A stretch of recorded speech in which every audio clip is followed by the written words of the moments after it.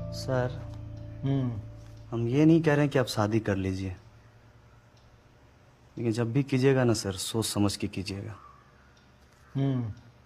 सलाह कुंडली मिले ना मिले विचारों का मिलना बहुत ज़रूरी होता है। है कि अगर विचार नहीं मिला तो पूरा वैवाहिक जीवन अंड का बंड हो जाता है।